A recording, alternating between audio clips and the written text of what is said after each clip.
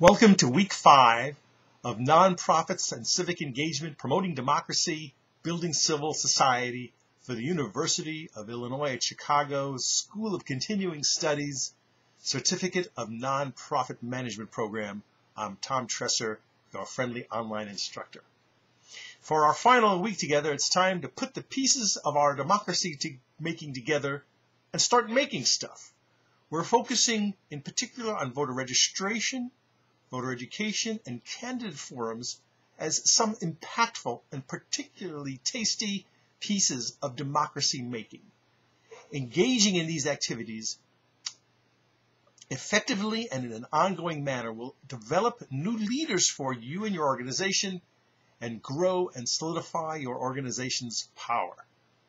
Now, I'd like to share with you uh, some thoughts by one of my personal heroes in this work, and that is Senator Paul Wellstone. He was a history professor who got elected to the United States Senate from Minnesota in 1990. He was a real student of civic engagement, and he taught and he practiced it on an ongoing basis. It's a process that looks something like this. It's been called the Wellstone Way, and it starts at the community level with organizing around issues and building a base that has the capacity and the appetite to act together. This builds further capacity and jurisdiction to seek answers and solve problems, to propose solutions to community problems.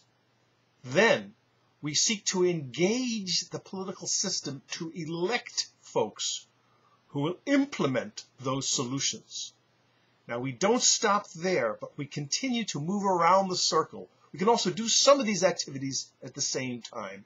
Now I hope you see this as a civic ecosystem that only works when all parts of the system are engaged and healthy. To do this work while neglecting one of those parts of the circle will doom your efforts to fail. It must be about the whole system.